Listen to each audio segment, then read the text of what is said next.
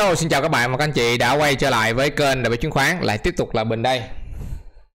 Thì à, hôm nay là chúng ta cũng sẽ gặp nhau trong cái phiên cuối tuần và à, chúng ta sẽ review lại thị trường trong cái phiên à, cuối tuần là thứ sáu. Và sau đó thì chúng ta cũng sẽ có những cái góc nhìn cho à, tuần tới. À, và đặc biệt thì chúng ta sẽ review coi thị trường trong cái tháng 11 như thế nào? Nó sẽ có khó khăn hay không? À, và sau đó thì mình nghĩ là chúng ta sẽ tiếp tục là cập nhật về các tình hình ở, ở các nhóm ngành. À, đặc biệt các nhóm ngành để chúng ta coi là cái hoạt động và cũng như là cái đầu tư của chúng ta trong ngắn hạn và cũng như là trong cái view trung hạn của thị trường nó sẽ hấp dẫn ra sao và từng nhóm ngành chúng ta sẽ phân bổ cho nó phù hợp. Rồi à, các bạn anh chị đang xem thì cũng đang cho mình một cái like một cái share và thả cho mình một cái tim à, ở dưới cái phần bình luận nha các anh chị bạn. Thì ở um, trên phía trên màn hình hoặc là thì mình có để một cái ID đó là 1791 à, tại Headline. Và các bạn anh chị quan tâm thì có thể là à, chuyển ID hoặc là mở tài khoản với Bình ha. Ở dưới phần mô tả mình cũng có để một cái đường link để chúng ta mở online rất là nhanh à, và ở VBS đó cũng có một cái ID VBS nữa nha. Các bạn anh chị nào quan tâm ở VBS thì cứ về đội mình nha. Mình nghĩ là thị trường khó khăn thì chúng ta cũng có những cái hành động nó phù hợp. Rồi thì để không mất thời gian chúng ta đi vào thị trường. Trong cái phiên thứ sáu vừa rồi thì mình nghĩ là à, diễn biến à, gần như là trong phiên sáng thì nó lình lình xình lình xình thôi đúng không? Nhưng mà về trong các phiên à, phiên chiều thì mình nghĩ là có những cái biến động mạnh hơn đó là nó biến động theo cái chiều giảm. À, nó cũng theo cái tình hình của thị trường thế giới. Thì các bạn thấy là thị trường thế giới thì nó cũng đã tăng vượt đỉnh rất là xa rồi. Đó. Còn Việt Nam mình thì vẫn lè đè lè đè ha. À, trong ở đây thì thị trường chúng ta giảm gần đâu đó là hơn ờ, 9,59 điểm thì nó tương đương với 0,76 phần trăm. Thì các bạn có chị thấy là thanh khoản của thị trường chúng ta thì nó cũng không phải là một cái thanh khoản cao. Với giai đoạn này các bạn thấy là càng tích lũy càng lâu thì mình nghĩ là thanh khoản nó cũng không có mặn mà gì mà nó càng ngày càng thấp đi. Và phiên ngày hôm nay cũng là một cái phiên mà chúng ta tính ra thì giảm gần 10 điểm như vậy thì nó cũng là một cái phiên giảm mạnh. Nhưng mà cái thanh khoản thì cũng không quá đột biến. Thì chứng tỏ các bạn thấy là bây giờ thì việc ai nắm cứ nắm ai giảm cứ giảm ai bán cứ bán. Đúng không? Còn à, việc mà mình nghĩ là cũng không có tình trạng thứ nhất là cũng không có tạo ra một cái thanh khoản đột biến các bạn anh chị cũng hình dung là trong đoạn này với những cái chiều giảm không? Thị trường đang giảm như này thì kích thích cho bên bán thì rất là lớn nhưng mà cái bên bán thì họ cũng không bán tháo. Đó không bán tháo. Cho nên là cái thanh khoản của thị trường chúng ta đạt ở cái mức là 14.790 tỷ thôi. Và ở đây chúng ta thấy là có một cái điều rất là đặc biệt đúng không? Mình nghĩ là trong đoạn này mọi người thấy đây nếu như mọi người soi về nước ngoài. À, mà nước ngoài thì các bạn thấy là nước ngoài họ bán đó họ bán ròng 306 tỷ. Nhưng mà về cái giá trị đúng không? Và về cái khối lượng mua bán thì các bạn thấy là là dương. Đó, khối lượng mua mua nó dương so với khối lượng bán. Thì có nghĩa là các bạn thấy là đây là giảm này bán trụ nhưng mà mua lại mid cap này. Không bán trụ mua mid cap.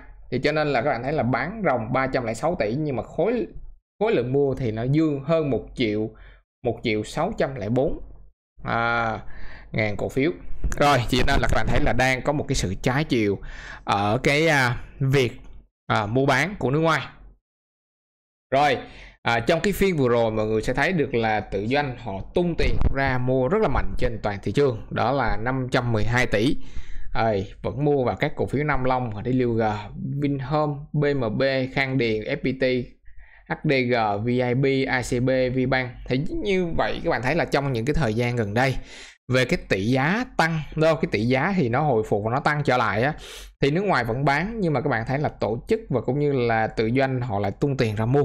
Đó thì cá nhân chúng ta rồi cá nhân nữa đó rồi nghĩ là như vậy. À, và đặc biệt hơn thì à, về thị trường giảm thì bạn thấy là vẫn à, rất là nhiều mã giảm à, à 280 à, 286 mã giảm và vẫn có nhiều mã tăng mình nghĩ là 86 mã tăng mình nghĩ là vẫn có một số cổ phiếu nó tăng trần nữa các anh chị bạn ha?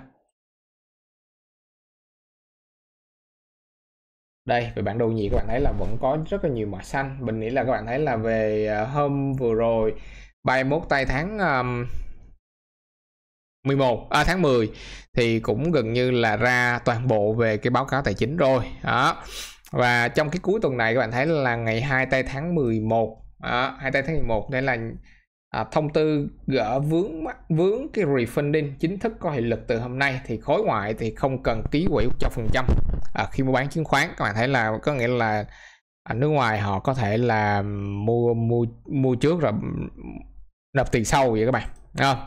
thì mình nghĩ là đó là cái nút thắt để cho chúng ta gọi là à, giúp cho thị trường ngân hàng. Nhưng mà mình nghĩ là chúng ta cũng sẽ đánh giá về cái dòng chứng khoán. Thì nếu như ngân hàng là thấy là thị trường ta sẽ thu hút được không chỉ là ở dòng chứng khoán đâu các anh chị bạn mà nó thu hút được cái nhà đầu tư nước ngoài rất là lớn nha. Mình nghĩ là như vậy.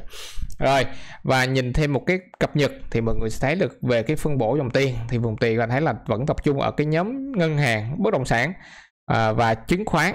Và ở đây thì có nhóm thêm bán lẻ là nhóm vẫn các nhóm giao dịch nhiều. Này cả thêm nhóm thực phẩm thì à, các bạn thấy là đa phần à, cái lực bán thì chiếm rất là nhiều ha đa phần là chiếm nhiều. Thì à, à thị trường chúng ta giảm nhiều cho nên là các nhóm cổ phiếu và dòng chứng khoán cũng giảm nhiều. Và giảm nhiều nhất cũng thấy là nhóm công nghệ thông tin nhóm viễn thông nhóm hóa chất và nhóm hàng cá nhân. Đó, đó là những cái nhóm giảm nhiều trong với thị trường ngày hôm thứ sáu vừa rồi. Rồi, về bản đồ nhiệt thì cũng thấy là gần như là các cổ phiếu trên thị trường giảm khá là nhiều ha. Mình nghĩ là trong giai đoạn này à, chúng ta phải phân tích coi thị trường có cái sự nguy hiểm hay không và giống như là chúng ta cũng sẽ đánh giá coi thị trường nó sẽ ảnh hưởng như thế nào. À, ảnh hưởng như thế nào khi à, à, ngày hôm qua thì mình thấy là về thị trường các chứng khoán như chứng khoán Mỹ à, cũng có những cái phiên hồi phục à, trở lại tăng rất là mạnh đúng không? À, tăng rất là mạnh nhưng sau đó về cuối phiên thấy nó đóng vào cái nến nó cũng không mặn mà lắm nhưng mình nghĩ là đây là tiếp tục thì về chứng khoán Mỹ thì chắc cũng sẽ có những cái phiên hồi phục tiếp theo. À, và vẫn giữ được xu hướng tăng nha mình nghĩ là vẫn giữ được xu hướng tăng. Cho nên mình nghĩ là chúng ta cũng đánh giá như vậy về thị trường chứng khoán Mỹ để cho mọi người bớt lo lắng. Còn với chứng khoán Việt Nam thì như thế nào? Thì chúng ta cũng sẽ đánh giá về toàn bộ về à, à trong cái tháng và cũng như là các tuần tiếp theo thì mình nghĩ là các anh chị thấy là trong cái đồ thị tháng thì chúng ta bước qua tháng mới tháng 11 thì uh, những cái chỉ số này nó cũng bước qua cái đám mây. Thì mình nghĩ là đây chúng ta thấy là về cái chỉ số này nó cũng đi qua cái vùng mây mỏng ở trong cái đoạn này.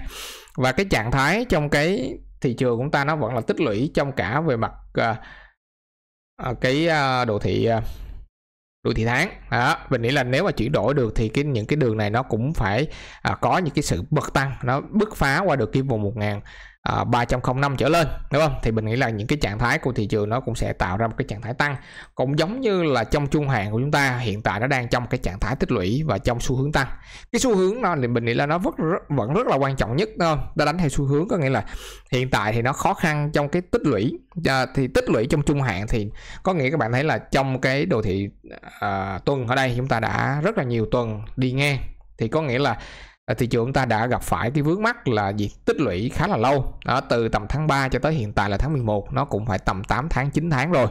Đó thì cho nên là việc tích lũy này à, thì chúng ta thấy là hiện tại nó có một cái vùng trung tâm đó là vùng 1243 thì mình nghĩ là có giảm về đây hay không?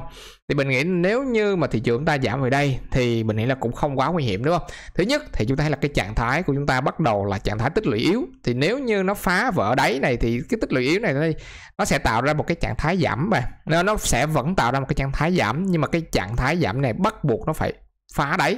1250 này thì nó tạo ra một cái trạng thái giảm yếu đúng không? Thì mình nghĩ là khi giảm yếu gặp hỗ trợ này thì mình nghĩ là cũng không quá nguy hiểm trong cái tuần sau. Mình nghĩ là tuần sau thì chúng ta sẽ thấy là những cái chi đường chi cô này nó bắt đầu bước vào những cái đoạn mây, không? Bắt đầu mây nó bắt đầu to to dần dần lên. Thì à, tầm qua được mình nghĩ là nguy hiểm thì nó vẫn có thể là diễn ra trong ngắn hạn. Thì trong ngắn hạn các bạn thấy là nó sẽ sẽ dịch chuyển đâu đó khoảng tầm phiên sáng mình nghĩ cái áp lực này nó cũng sẽ diễn ra trong khoảng tầm phiên sáng như mình nói bạn. Nếu như ở đây nó vượt qua được cái eo may này nè, thì lúc đó mình nghĩ là sẽ tiếp tục hồi phục. Nhưng mà cái việc mà trong cái ngắn hạn này mà nó đang giảm xuống tới đây, thì đây là nó sẽ còn tồn tại khoảng tầm 3 phiên, ba cái nến giao dịch nữa, thì nó vẫn còn một cái đoạn may mỏng. Thì chúng ta thấy là nó cũng như là thoát khỏi và thoát khỏi sự tách cái cái đường tk và Kijun này ra. Thì có nghĩa là trong cái phiên sáng, trong cái phiên sáng thứ hai, mình nghĩ là thoát khỏi cái áp lực này hay không? Đó nếu mà như là nếu tiếp tục đi lên thì nó vẫn có khả năng là tiến tới. Sát cái may này nó vẫn có thể ngóc lên đây các bạn đúng không? Nó vẫn có thể ngóc lên.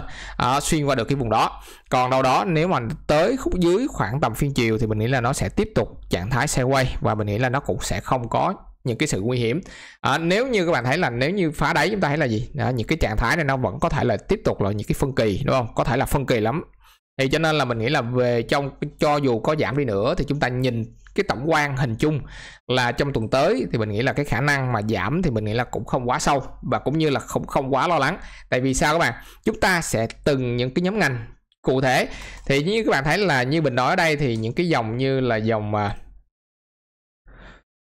ngân hàng, thì mình có nói với anh chị bạn thì khi nó gặp một cái vùng hộ, kháng cự này nó sẽ có khả năng là nó sẽ sideways ở đây khoảng tầm từ 3 đến 5 phiên. Thì mình nghĩ là nếu như tiếp tục đi ngang, thì ở đây chúng ta hãy là đi qua đây, thì tầm thứ hai thì cái độ hồi phục nó sẽ là diễn có.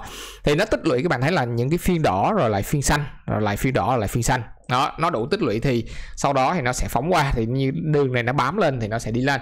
Thì mình nghĩ là đối với ngân hàng thì mình nghĩ là các bạn, anh chị vẫn có thể canh mua vào. Đối với lại những cái cổ phiếu ngân hàng, mình nghĩ là cũng không quá lo nha. Nhưng mà BB các bạn thấy là đây nó cũng là một trong những cái vùng hỗ trợ mà chúng ta vẫn có thể suy nghĩ được. Mình nghĩ là các cổ phiếu về ngân hàng thì cũng không quá lo đó, cho nên là các bạn anh chị tùy chọn thôi mình cũng không biết các bạn anh chị chọn gì cho nên là các bạn anh chị chọn thì à, có thể nhắn cho mình để chúng ta cũng có thể là trao đổi với nhau các cổ phiếu ngân hàng. Đó à, thì chúng ta sẽ trao đổi với nhau đưa ra những cái quyết định đánh giá và cũng như là chia sẻ những cái cách mua và những sao cho phù hợp với à, cái trạng thái hiện tại đang tích lũy của các cổ phiếu ngân hàng như thế này nha rồi tiếp theo thì chúng ta hãy lật về dòng bất động sản. Mà tại sao mình không nói với ngân hàng? À, về dòng chứng khoán các bạn nói chút là mình nói chứng khoán sau nha. Thì đánh giá tiếp tục thì các bạn thấy là về à, trong tuần sau thì nếu như à, tiếp tục mà họ điều chỉnh về đây thì mình nghĩ là nó sẽ rất là nguy hiểm. Nhưng mà nếu mà được qua được các bạn thấy là một hai ba bốn năm tầm 4 năm phiên thì cuối tuần sau. Thì nếu như tiếp tục tích lũy thì mình nghĩ là tầm khoảng uh, tầm thứ tư đúng không? Thì những cái trạng thái mà tách ra những cái cái cái vùng TK và Kijun thì ở đây khả năng thì nó sẽ vẫn có một cái sự hồi phục của cái nhóm về về về về dòng bất động sản và cũng như là tới cuối tuần thì nó sẽ khả thi hơn và nó sẽ uh, tích cực hơn đối với cái dòng bất động sản nha. Thì bất động sản mình nghĩ là chỉ đâu đó những cái cổ phiếu Vinhome.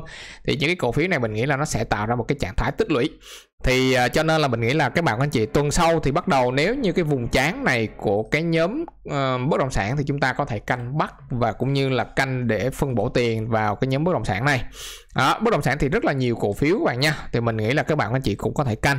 Rồi thì uh, chúng ta chọn cho cái điểm mua nó phù hợp và những cái điểm mua sao cho nó an toàn. Và đặc biệt mà chúng ta nói là gì? Cho dù bây giờ bất động sản nó vẫn là trong một cái trạng thái sideways nhưng dù sao đi nữa thì nó cũng chưa có tạo ra xu hướng tăng. Cho nên là nó vẫn sẽ chưa tăng nhanh và nó sẽ phân hóa theo từng cổ phiếu uh, sẽ có những cái trạng thái khác nhau. Uh, và chúng ta sẽ đưa ra những cái quyết định mua khác nhau của từng dạng cổ phiếu và các bạn các chị sẽ phân bổ vốn khác nhau. Đúng không? Chúng ta phân bổ vốn vào những cái cổ phiếu bất động sản như thế này. Và tiếp theo là dòng chứng khoán. Thì đối với dòng chứng khoán thì các bạn thấy là với những cái sự test đi test lại và cái sự nguy hiểm của dòng chứng khoán bắt đầu diễn ra thì chúng ta thấy là về những cái thông tư mà nó cũng sẽ support cho cái dòng chứng khoán nhưng mà mình nghĩ là nó cũng đang um, chưa có phải là rõ ràng cho nên là mình nghĩ là gọc cộng thêm những cái thanh khoản mà đang hiện tại đang thấp như thế này thì mình nghĩ là sự kỳ vọng của cái dòng chứng khoán hiện tại chưa lớn đúng không? Thì cho nên là có thể là dòng chứng khoán nó sẽ vẫn sẽ phải yêu eo đó thì cho nên mình nói là dòng chứng khoán các bạn anh chị mua trong ngắn hạn thì không nên. Nhưng nếu như giả sử chúng ta đầu tư mà chúng ta mua phân bổ thêm một cái lượng vốn nhất định thì mọi người nên nên tham gia vào. Tại vì sao? Mình nói ở đây nó có khả năng nó sẽ điều chỉnh đúng không? Thì điều chỉnh cho dù điều chỉnh xong cho dù đi nữa thì về những cái biên dưới này các bạn thấy là nó cũng sẽ chưa có tăng nhanh đâu. Cho nên là mình sẽ không khuyến nghị cho mọi người à, mua à, gọi là trong ngắn hạn mà sẽ là phải gom. Thì những cái cổ phiếu đầu ngành thì cho bạn đầu tư thì nó sẽ thoát khỏi một cái trạng thái sideways này. Các bạn thấy là à, như là SI thì mình nghĩ là nó đâu đó khoảng vùng 25 thì cho nên là những cái vùng này mình nghĩ là cũng có thể là nó nhúng thêm xuống dưới đây.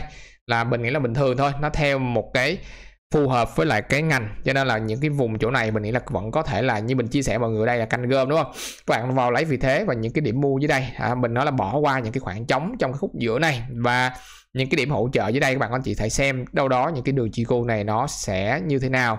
À, nếu như tầm mấy phiên tới thì nó tới khúc này thì mình mới bắt đầu xuất tiền để mua nhiều còn cái đâu đó thì nó nhanh quá và tầm thứ hai, thứ ba mà nó nhanh quá thì chúng ta nên dừng dừng và chờ đợi những cái khúc dưới đây để chúng ta liều được, đúng không các bạn? Đó, nếu mà nó về đây thì mình nghĩ là liều được tầm dưới khoảng vùng 25 cộng như này. Đây là 25.3 thì mình nghĩ là cho dù nó có nhún về 25 thì mình nghĩ là cũng ok để chúng ta xúc về SI và đặc biệt thì SI là cái ngày ngày à, bốn 4 tay bốn tay là cái ngày thứ hai tuần sau là cái ngày cuối cùng để đăng ký mua cái quyền phát hành thêm của SI với giá 15 ngàn. Đó các bạn và các anh chị nào mà có quyền mua của SI thì đừng bỏ qua nha các bạn. Đó chung thôi là các bạn các anh chị bị bị bị bị bị lỗ đúng không? Đó nếu các bạn anh chị mua 15 ngàn thì cũng ok thôi cho dù như thế này nữa dù mấy tháng sau về thì mình nghĩ là cái với cái giá 15 ngàn chúng ta mua cũng ok đấy. Cho nên là mình nghĩ là đừng bỏ quyền nha. Rồi um, đó là các về các dòng chứng khoán thì VCI ờ, ok mình tắt ngay bạn.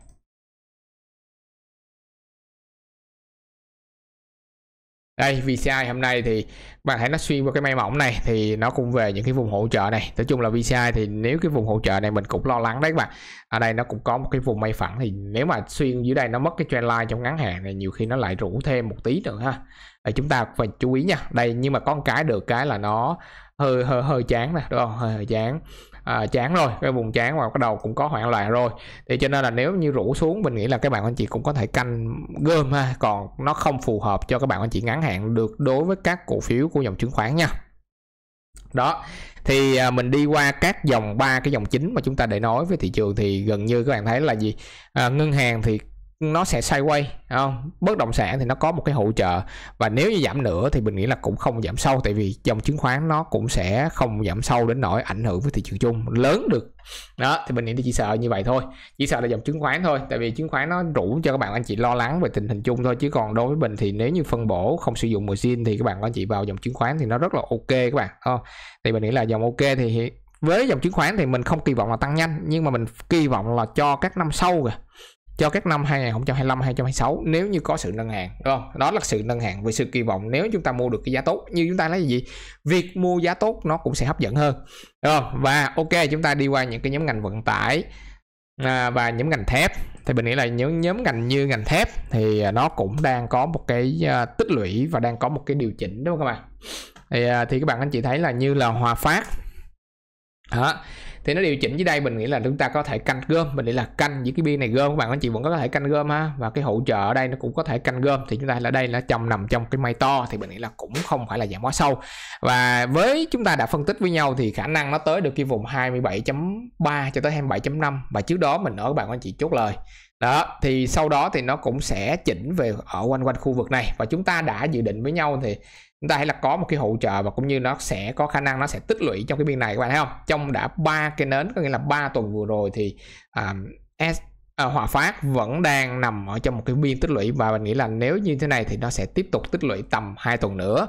À, chúng ta dự định là 3 tuần cho tới 5 tuần đúng không? Thì có nghĩa là nó sẽ xuất hiện đâu đó khoảng tầm um, 3 cho tới 5 cây nến. Cho nên là đối với e, Hòa Phát các bạn anh chị vẫn có thể canh mua nha. Đó cho nên là các bạn anh chị nào mà cần mình tư vấn cho nó cụ thể và cũng như là cách phân bổ tiền đó mọi người đừng quên cái ID của mình tại đây với là 1791 để chúng ta đưa ra cái quyết định sáng suốt trong cái việc đầu tư trong những cái giai đoạn khó khăn chúng ta đã nhận định với nhau. À, giai đoạn này giai đoạn khó khăn và cũng như là cái tình trạng của thị trường hiện tại nó sẽ mất rất nhiều thời gian tích lũy đúng không? Các bạn thấy là trong thời gian vừa qua thì thị trường chúng ta đã đi uh, xuyên suốt với những cái gì mà mình cũng đã chia sẻ mọi người đó là gì? Cái sự tích lũy của thị trường nó rất là lâu. Cho nên là mình nghĩ là đây các bạn thấy mình cũng chờ rất chờ là cái những cái dòng chứng khoán. Đó đúng không? Thì ở đây mình nói là cái tình hình này, thời gian tích lũy nó có thể kéo dài gây ra cái tâm lý chán nản này cho nên mình nghĩ là vẫn là phù hợp với cái việc chiến lược mua. Đó mình nói các bạn anh chị mở mua tỷ trọng cao khi thị trường thay đổi được cái trạng thái, khi chuyển sang trạng thái tăng, khi bước số, bước pháo ở đây. Còn không về cái view trung hạn, mình ấy sẽ hướng về định lịch sử. Còn như đâu đó như mình nói các bạn anh chị cứ bình tĩnh, chờ những cái điểm mua cho nó phù hợp, đúng không? Chỉ mở mua tỷ trọng cao khi thị trường vượt đá, còn không đâu đó mình nói với các bạn vẫn phải là cân bằng, đúng không? Rồi, đó là cái tình trạng chung của thị trường.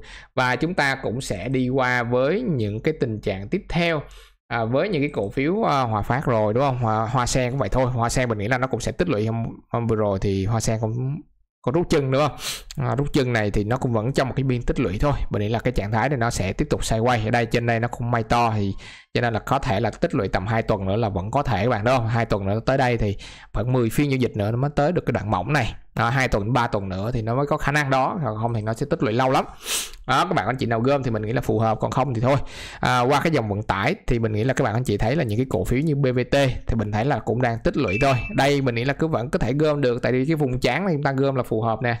HAH nè. À, HAH thì mình nghĩ là điều chỉnh về đây là những cái điểm điểm mà điều chỉnh nè. Cho nên mình nói tại sao bạn anh chị có thể để ý về HAH rồi BBT đúng không? Đó, HAH và BT đó và những cái cổ phiếu ở dưới đây nè à, DBR nè à, Đạt Phương nè. Đạt Phương thì à, trong vừa rồi mọi người cũng thấy là gì? Nó cũng đã hồi phục và mình nghĩ là nó cũng phản ánh được cái phần nào của cái cái thông tin mà vụ mà 7 năm rồi mới lôi ra cái việc trụ điện đúng không? Lây hoay xử lý cho nên mình nghĩ là nó phản ứng về cái tiêu cực đó thôi. Còn trong ngắn hạn mình nghĩ là xảy ra rồi thì cái việc đây rõ ràng bạn thấy là cũng hấp thụ trong hai phiên vừa rồi rồi cho nên mình nghĩ là chúng ta suy nghĩ tiếp mình cũng đang vẫn đang nắm giữ thôi. Cũng chưa có vấn đề gì phải à, à, xử lý nha. Nghĩ là cũng đang có cơ hội nó bứt được hay không thì test lại. Thì à, trong cái phần những cái phần trên thì mình cũng có chia sẻ mọi người về cái bài học về Ichimoku để chúng ta đánh giá về cái mặt phân tích kỹ thuật nha. Và mặt phân tích kỹ thuật ở đây thì nó cũng chưa có gì mà chúng ta gọi là nguy hiểm cả. Rồi à, tiếp theo thì mình nghĩ là chúng ta cũng sẽ có những cái cổ phiếu như DBR này DBR nó cũng đang tích lũy nè các bạn ha ở đây nó cũng có một cái đám mây to này, nó điều chỉnh này thấy nó cũng có một cái mây to. Nếu như về đây nó cũng đang mây to thì cho nên là mình nghĩ là trong cái tuần tới thì nó sẽ có bắt đầu xuất hiện những cái vùng hút giá không biết nó tích lũy hay như thế nào. Thì chúng ta hãy là đây nó tới những cái đoạn chống chống này nó có vươn lên được cái vùng trên 40 này hay không? 39.9 hay 40 này hay không? Thì lúc đó mình nghĩ là nó sẽ tích cực hơn. Để cho nên lúc đó mình sẽ suy nghĩ tiếp. Còn đâu đó nó chỉnh như này mình nghĩ là chúng ta chỉ có mua từng phần thôi. Còn uh, mua thì mình nghĩ là chúng ta đã có canh mua hỗ trợ nè mua một tí nè. Nhưng mà mình nói là đây nó vẫn đào giảm mạnh đó, cho nên mình các bạn anh chị mà tư vấn mình cũng tư vấn mua từng phần thôi cũng chưa nên mua nhiều. Nha. Rồi à, những cái cổ phiếu tiếp theo đó là về DC World. Thì mình nghĩ là DC World nó cũng đang có một cái trend line đúng không? Một cái trend line ở đây. Nó vẫn đang trong một cái trạng thái giảm yếu nè bạn đúng không? Đang có một cái sự hút giá nè mình không biết là nó đang đoạn hoảng loạn nè chán nản nè đều hội tụ đủ luôn các bạn. Nó có hỗ trợ luôn. Và giống như là chúng ta là trong đỉnh đáy của DC World nó đang có một cái vùng à, đáy gần ở đây. Đó mình không biết đây có hỗ trợ 42 không? 49.9.49 41.9 à, 5886 gì đó bạn. Đó mình đọc đúng con số luôn. Nhưng mà ở đây chúng ta là cho tròn 42 đi. À, và thấp nhất của nó là khoảng 41.5 ở cái đáy đó thì cho nên là cái việc nó nhúng là vẫn có. Đó mình chỉ sợ nó như thế này thôi thì à, khả năng mình nghĩ là nó có một cái phân kỳ hay không? Ở đây mình cũng chỉ lo là nó có phân kỳ đúng không? Nó những phân kỳ có nghĩa là nó sẽ phải phá đáy. À, tuần tới nó sẽ phá đáy. Thì tuần tới thì mình nghĩ là nó cái hỗ trợ đó sẽ diễn ra trong cái tuần nó cũng sẽ gọi là năm phiên giao dịch. Cho nên là mình nghĩ là chúng ta có nên đợi để canh để mua. Mình nghĩ là nếu phá đáy mình sẽ chắc chắn sẽ mua nha. Mình làm một cái lệnh số 2 để mọi người gọi là cover cho cái việc của DG World. Thì như trước đó mình có phân tích với mọi người về DG World thì à, về cái đà nó đang giảm mạnh như thế này thì có khả năng nó sẽ giảm về 42 lúc đó đâu đó khoảng tầm 45 46 này bạn. 45 45 ha. 45 thì mình nói khả năng thì nó sẽ giảm mạnh và nó sẽ rủ về 42 nó vẫn có thể cho nên là các bạn anh chị nào mà tỷ trọng cao về DC thì có nên hạ bớt. À, hạ bớt để chờ về cái vùng như mình nói chia sẻ 42 để chúng ta à, cover. Đây.